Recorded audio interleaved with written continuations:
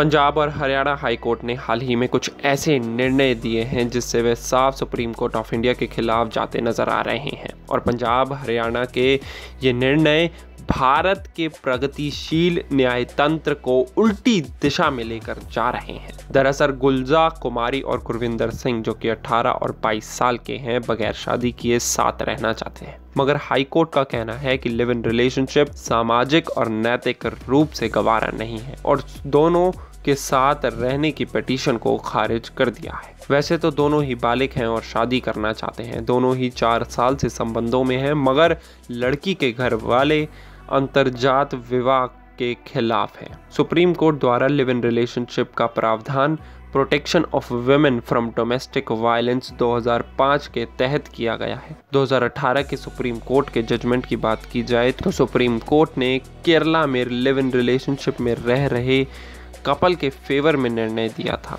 और कहा था कि अगर लड़का और लड़की बालिक हैं तो उन्हें साथ रहने का पूरा हक है। किसी को भी लिव इन रिलेशनशिप्स में ना रहने देना right to life and liberty का, जो कि एक फंडामेंटल राइट है भारत में, उसका उल्लंघन है। सुप्रीम कोर्ट के 2013 जजमेंट की बात की जाए तो कोर्ट का कहना है कि live in relationship are neither a crime nor a sin यानी कोर्ट का कहना है कि लिव इन रिलेशनशिप सामाजिक तौर पे स्वीकार किए जाने चाहिए, मगर पंजाब और हरियाणा द्वारा जो निर्णय सामने आए हैं, वो व्यक्तिगत रूप पे आधारित हैं और सुप्रीम कोर्ट के बिल्कुल खिलाफ जाते हैं। इतना ही नहीं, निर्णय भारत के प्रगतिशील न्यायतंत्र पे सवाल उठाते मगर आपकी इस बारे में क्या राय है, हमें कमेंट सेक्शन पे ज़रूर बताएँ। वीडियो को लाइक करें, शेयर करें, चैनल को सब्सक्राइब करके बेलाइकन प्रेस करना बिल्कुल ना भूलें।